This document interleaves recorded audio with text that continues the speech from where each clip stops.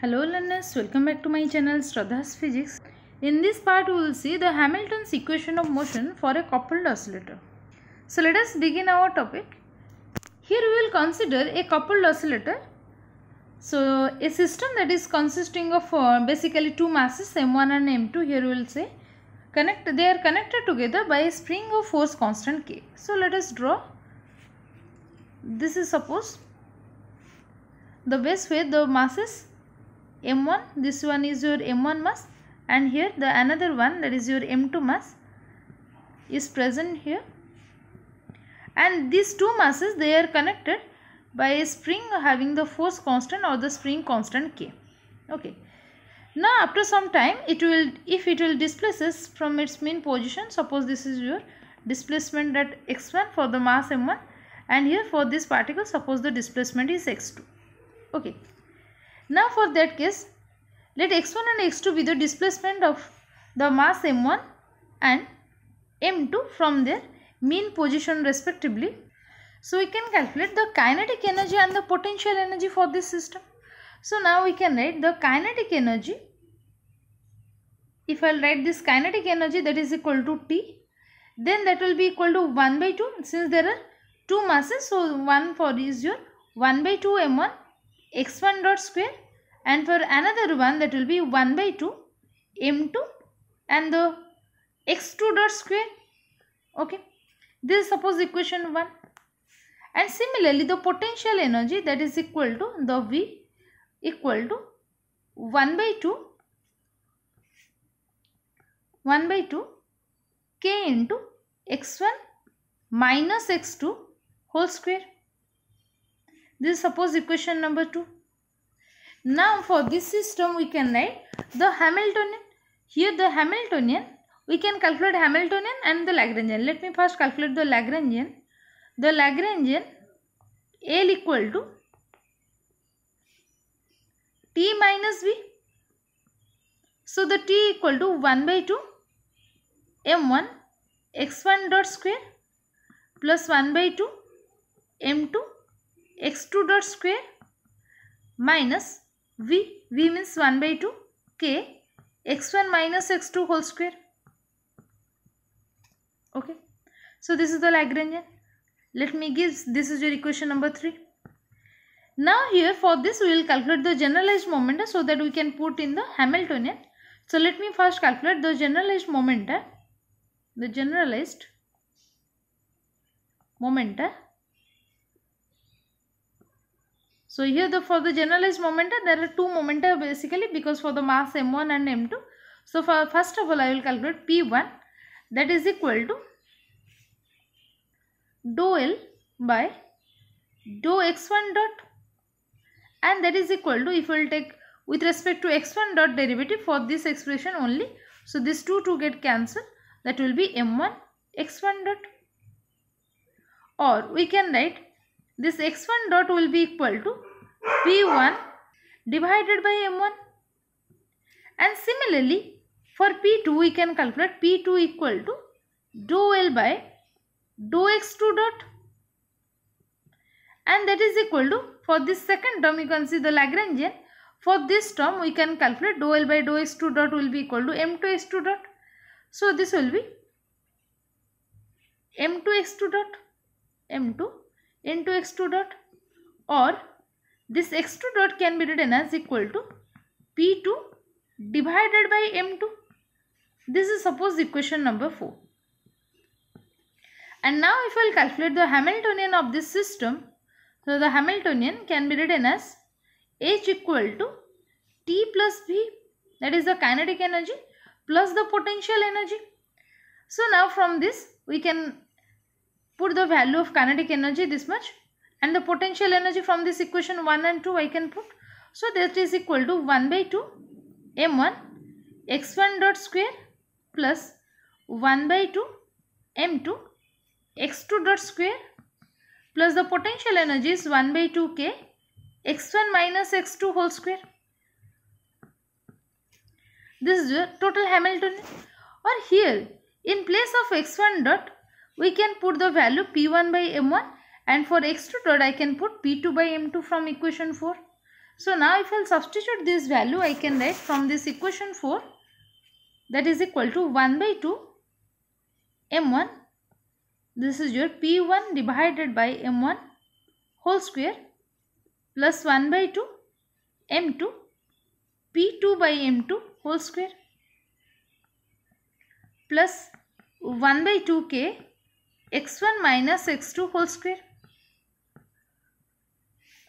or this can also be written as equal to m1 m1 get cancelled that will be p1 square divided by 2 m1 plus p2 square divided by 2 m2 again m2 m2 get cancelled plus 1 by 2 k x1 minus x2 whole square. So this is suppose equation number. Let me see. This is your equation number 5 okay.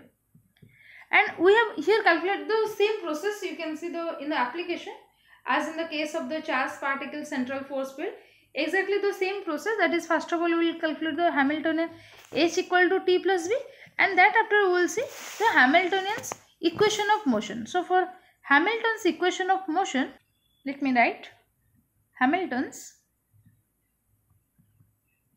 equation of motion Hamilton's equation of motion that is qk dot equal to dou h by dou pk.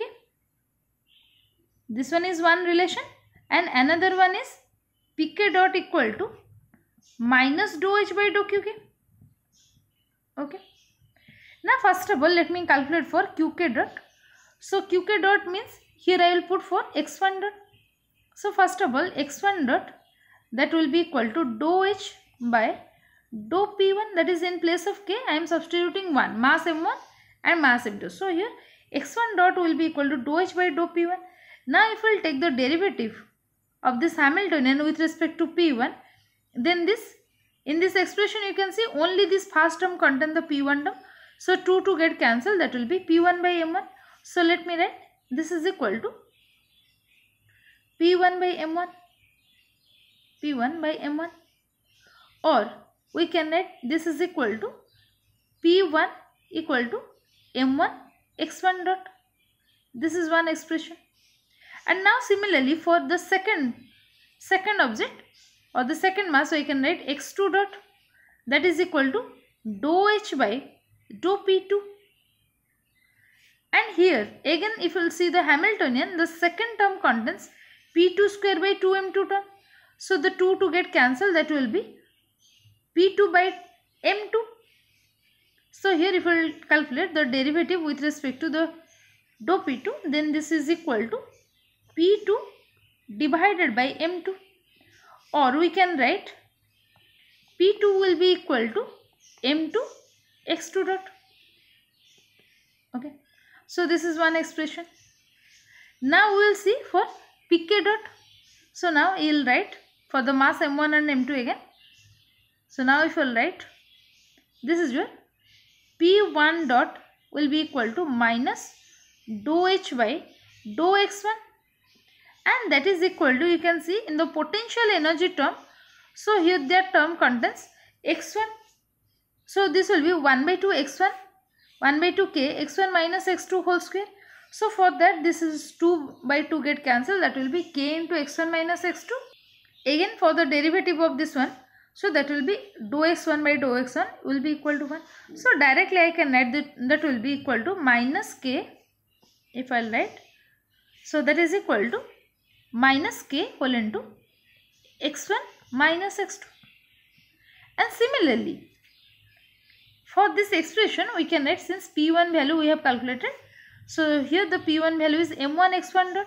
Now if we will put this value then this will be m1 x1 double dot that is equal to minus k x1 minus x2 or this can be written as m1 x1 double dot plus k whole into x1 minus x2 that will be equal to 0. So this is one equation of motion. Now similarly if you will calculate for the second mass that is p2 dot if I will calculate then p2 dot will be equal to minus dou h divided by dou x2. Now again see the Hamiltonian. So here the Hamiltonian, this potential energy term contains x1 and x2. So when we will take dou h by dou x2, so here this 2 into 1 by 2, 2 to get cancelled, k into x1 minus x2. Again the derivative of minus x2 will be minus 1 because the derivative of x1 will goes to 0. So here I can write this is equal to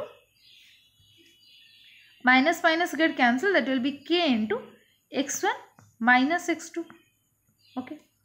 And again if we will put the value of this p2 p2 that will be m2 x2 double dot or we can write this is m2 x2 double dot that will be equal to k into x1 minus x2 or this also can be written as m2 into x2 double dot minus k into x1 minus x2 that is equal to 0. Okay. So let me just give you equation number. So directly let me see this is your equation 5. So this is your equation 6, 7. This is your equation number 6. This is 7. You will write I have substituted this value so you have to write here. So this is your let me write this one is equation number 8 and this is your equation number 9. So this equation 8 and 9 these are called the Hamilton's equation of motion. Equation 8 and 9 are called Hamilton's equation of motion. Hamilton's equation of motion.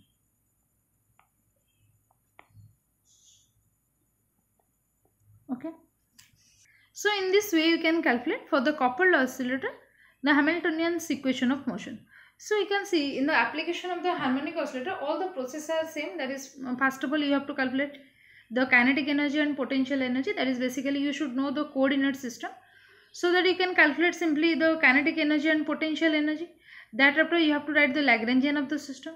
Then you have to calculate the generalized momentum and that after the Hamiltonian so in the Hamiltonian, you have to put this x1 dot and x2 dot here. And after that, by putting this Hamilton's equation of motion that is qk dot equal to dou h by dou pk and also pk dot equal to minus dou h by dou qk. So from that expression, you will calculate the Hamilton's equation of motion. So for every application, this uh, these are the steps. You should remember these steps. However, this is our final expression for the coupled oscillator that is M1 x1 double dot plus k x1 minus x2 equal to 0 and another one is m2 x2 double dot minus k whole into x1 minus x2 equal to 0. This is all for today. If you have any doubt can ask me in the comment section. Thank you all.